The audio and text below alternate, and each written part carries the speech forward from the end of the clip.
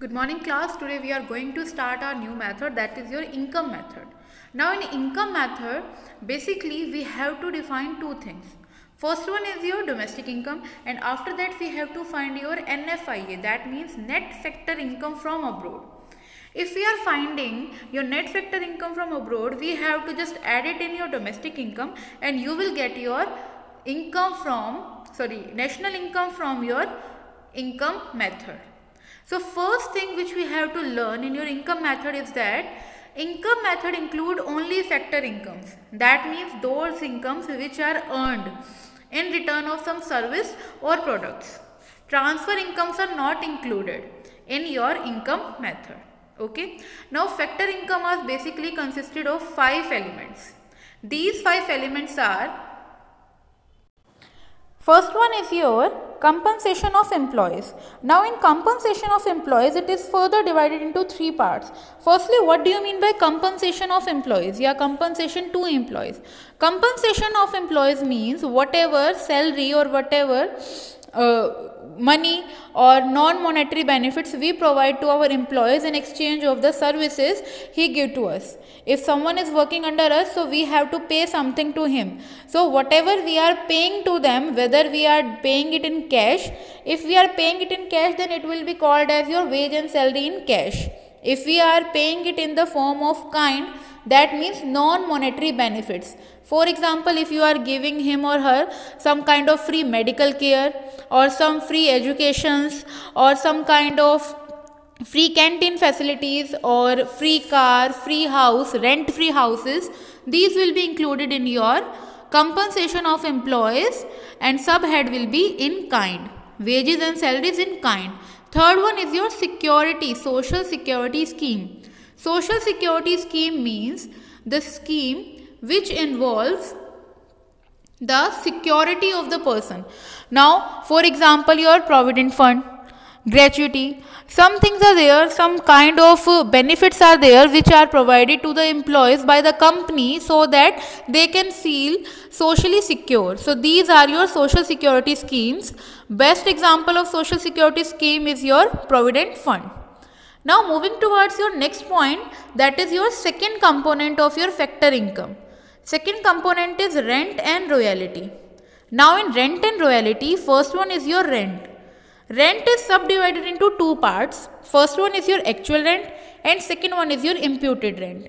See, if you are giving your own property to someone on lease or for some purpose to work on, so they are supposed to pay some amount in cash or in credit. That amount is known as your rent. And that is your actual rent because you are actually earning it you are actually earning it in the form of money.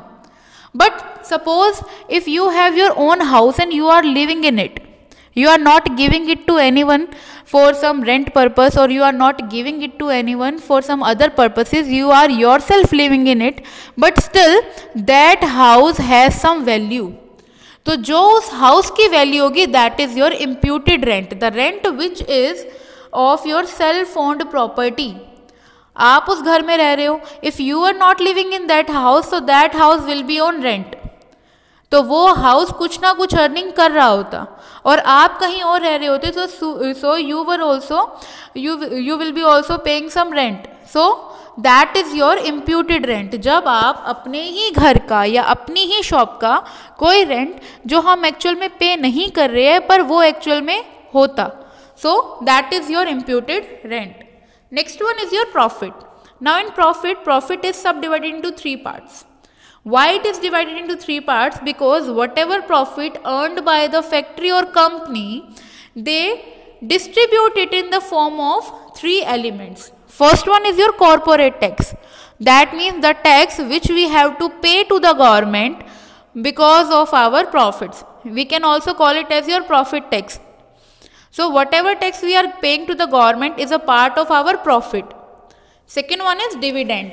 I have written the spelling over here wrong. Dividend.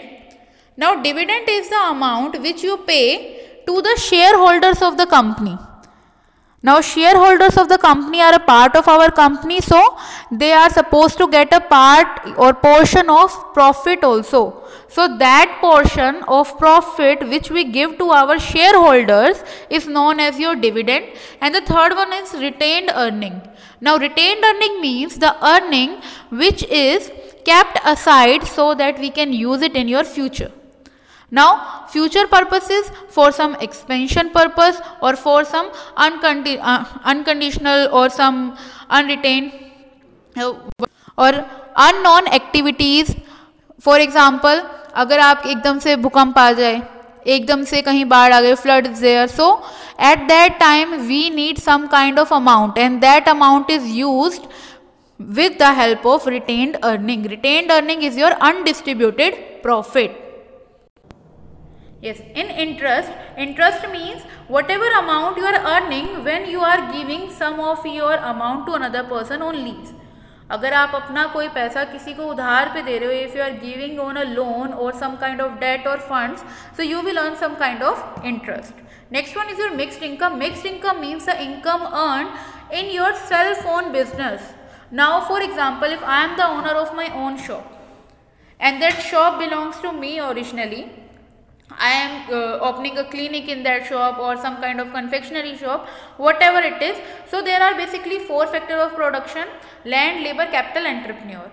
Four four के जो आपके product sectors of production हो गए चारों के चारों के benefit मुझे ही मिलेंगे because I am the owner of that land also so I will get the rent I am the owner of that shop that means entrepreneur so I will get the profit as well. Likewise I will get multiple sector income when I am getting multi-factor income that means that is your mixed income where one factor income is not defined alone. Next, next point is your operating surplus. Operating surplus is the combination of three elements. First one is your rent and royalty, second is your profit and third one is your interest. Now in between we have left royalty by mistake. So royalty means any rights which we are giving to some other person and in return of that right he is providing us with some kind of money. That is your royalty for example i am a writer then i am writing a book and i have written that book and i have given to the publisher. Now publisher will print it publisher will get all the profit out of that book but whatever profit he is earning he will pay me some kind of money as in a form of royalty. Because the main author and the main idea of that book is mine so whatever money you are getting it from your idea or from the ownership of that particular pro project or some kind of product is known as your royalty. Next one is your, now we'll end up with your income method. We have done five elements altogether. First one is your compensation of employees. Second one is your profit. Third one is your interest. Fourth is your mixed income. And fifth one is your rent and royalty. You can write it in any kind of sequence. The sequence doesn't matter. So all together they will form your domestic income. Domestic income means NDP at FC. When you are getting NDP at FC, now same strategy which we have used in your chapter number 3 that is three relations. First one is your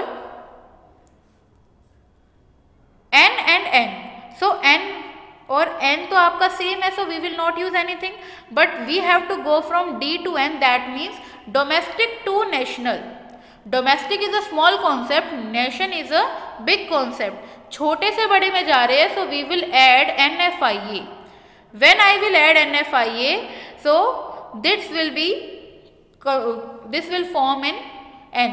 So, n will be n. Second domestic will change into nation. Product will be the same. and FC is same over here also. अगर यहाँ MP होता then we have to deduct or sub, uh, add some NIT. So that is not required over here. So we can directly use it as NDPFC plus NFIA is equal to national income with the help of income method. Here your income method is completed.